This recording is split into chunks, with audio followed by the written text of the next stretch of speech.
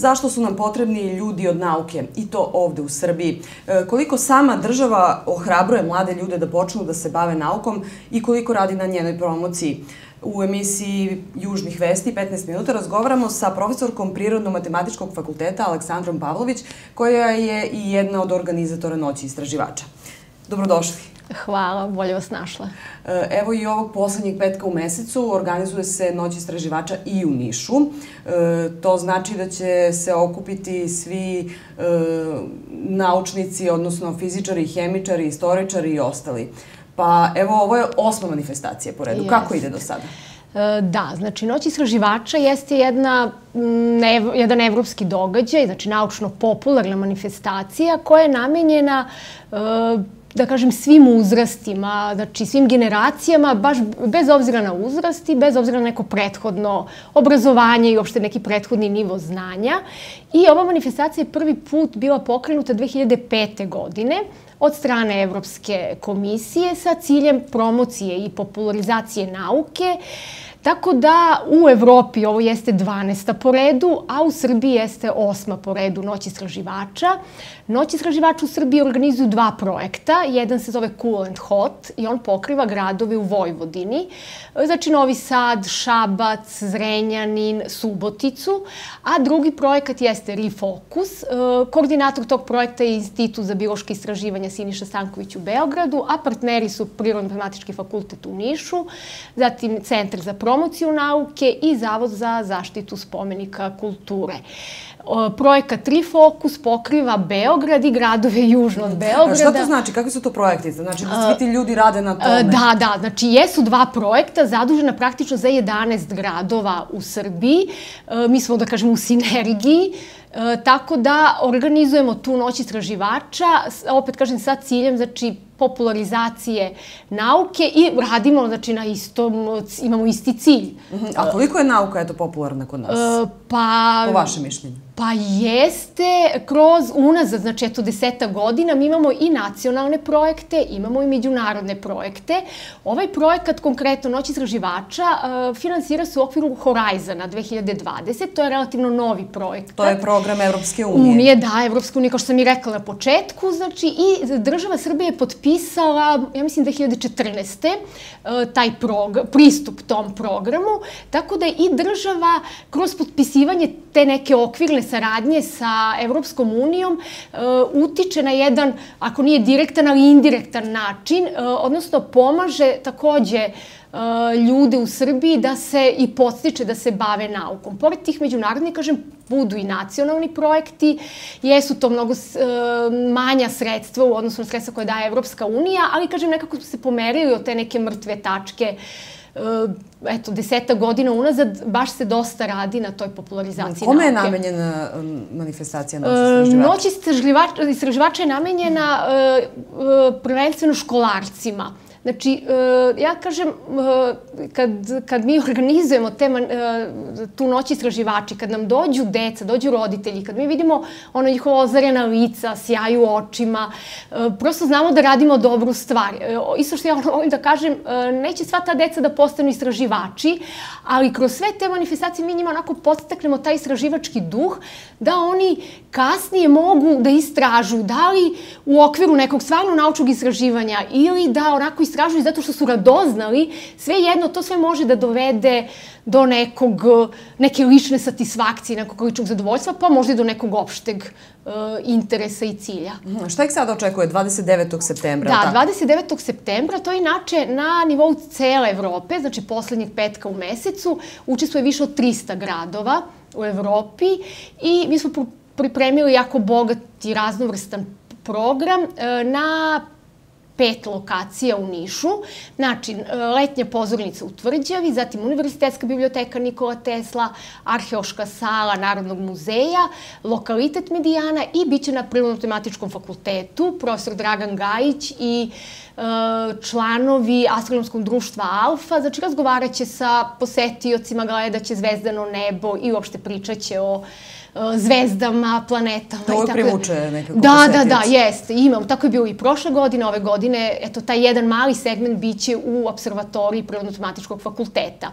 Što se tiče tvrđave, znači tu smo okupili veoma raznovrsne naučne radnike.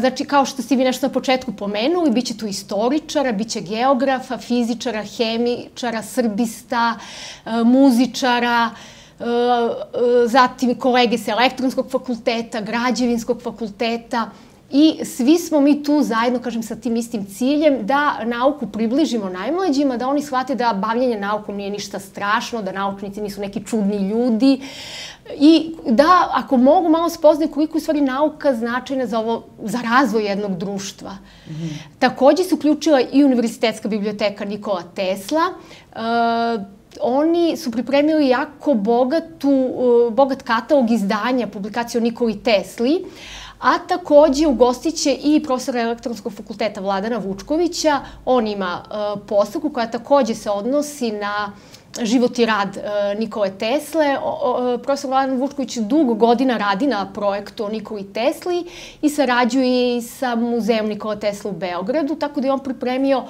jako bogat 3D materijal, znači filmove, prezentacije i posetioci će moći jednom virtualnom šetnjom da prođu kroz Tesline laboratorije. E, Narodni muzej se takođe uključio. Narodni muzej pruža mogućnost najmlađima da na lokalitetu Medijana e, slaganjem slagalice nauče neke osnovne činjenice o Medijani. Znači, kroz jednu igru ovaj, slagalice, saznaju, kažem, te neke osnovne činjenice. E, takođe u arheološkoj sali imamo jednu postavku e, gde će kustos e, Narodnog muzeja da prosetioce malo provede kroz tog zašto je recimo očuvanje tih predmeta važno za buduće u, u generaciji koja je uloga konzervatora u stvari u očuvanju predmeta. Eto, rekli ste da deca uvek lepo reaguju i kažete da je nauka jeste neka osnova za razvoj društva. Da. E, koliko Srbija, znamo da neki mali procenat se tu izdveja za razvoj nauke i inovacija. Pa jeste. Srbija, ja sam skoro jedan podatak počitala, kažem, ne znam baš koliko je tačno, da je na poslednjem mestu u Evropi po izdvajanju.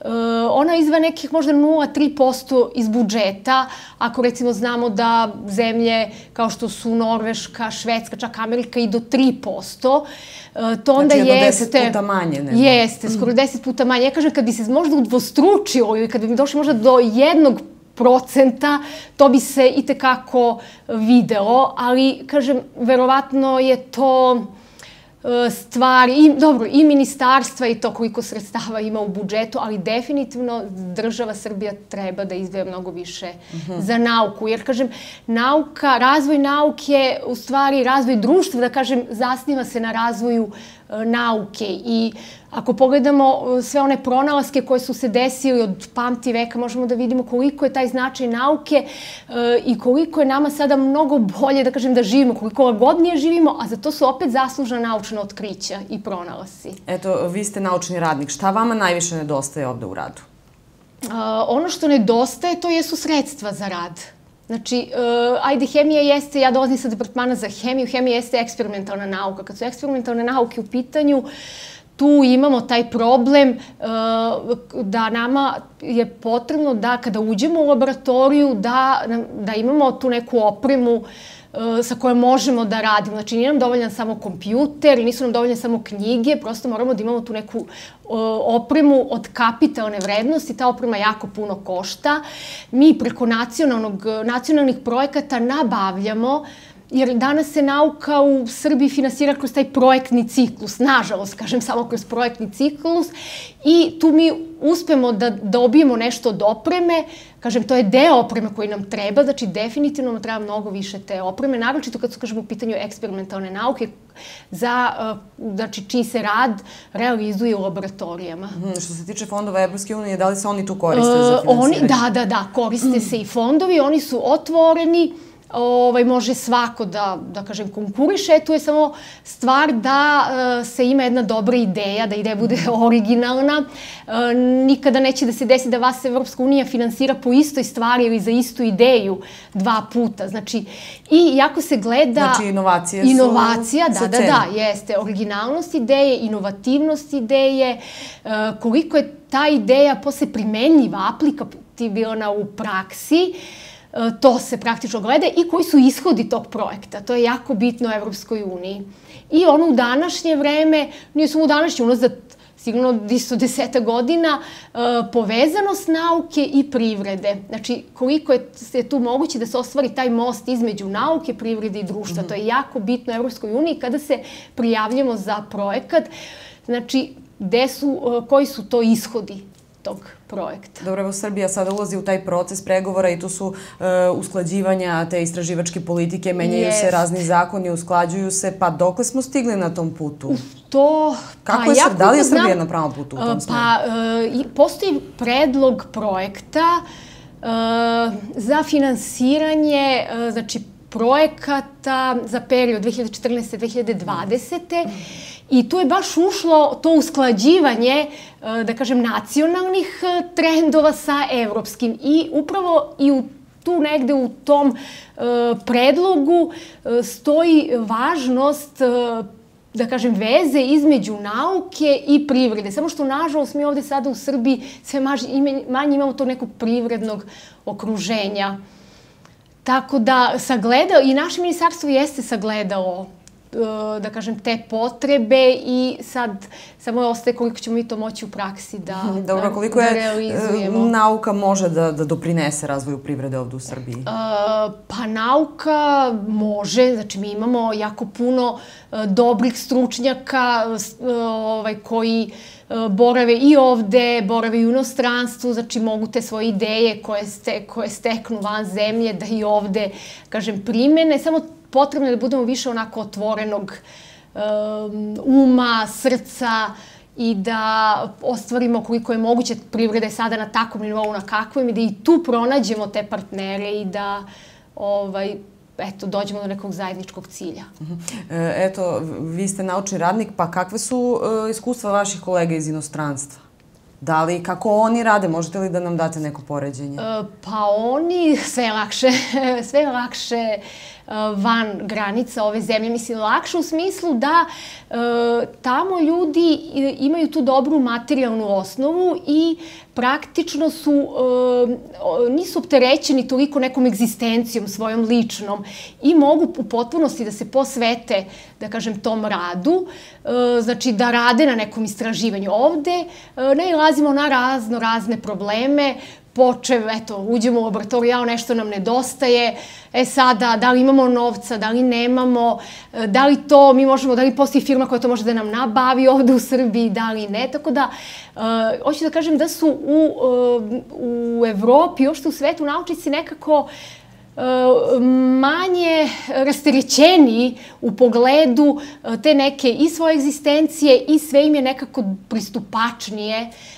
i onda je normalno sve lakše. Možda to je i uzrok nekog odliva mozgova, kako se kaže. Pa, ljudi odlaze. možda, možda. Vratno jeste jedan od razloga. Mm -hmm. Jeste. Mada, opet ja kažem, s druge strane, ne možemo baš ni svi da odemo. Da, ali eto, ovaj... ipak je uprkos tome uh, i naši naučnici, čak da, i ovde u Nišu, jest. dobijaju razne nagrade, da, dobijaju do, sredstva da, za svoje projekte. Mi recimo imamo, da, mi konkretno na Prirodno fakultetu uh, Uh, imamo tri naučnice koje su dobile Lorealovu stipendiju, znači za žene u nauci, što je jako veliki uspeh.